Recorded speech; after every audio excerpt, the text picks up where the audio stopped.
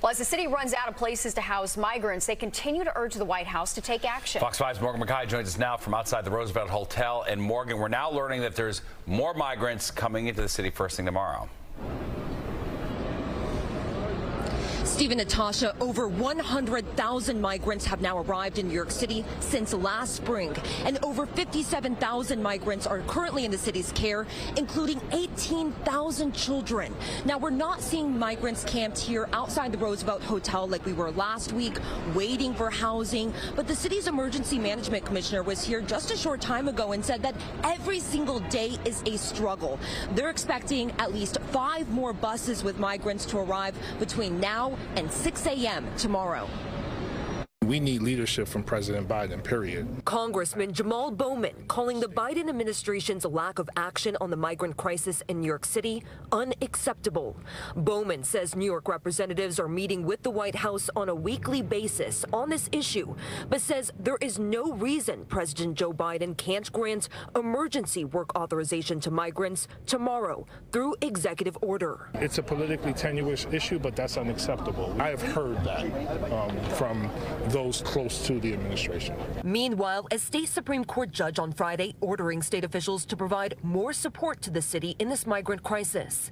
The city is to provide the states with a list by Wednesday of state and federal resources it requires to continue sheltering and caring for migrants. The state must respond to the city's requests by August 15th, one day before the next scheduled court date.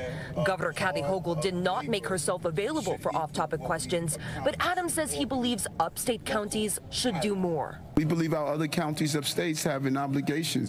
New York City is the economic engine of, of not only this country, but the state. And we believe everyone should step up and play a role in this crisis. One of the things the city could ask for is more support for migrant students. Right now, over 14,000 migrant children are enrolled at city schools. State education leaders met yesterday with city officials to discuss how to best meet student needs.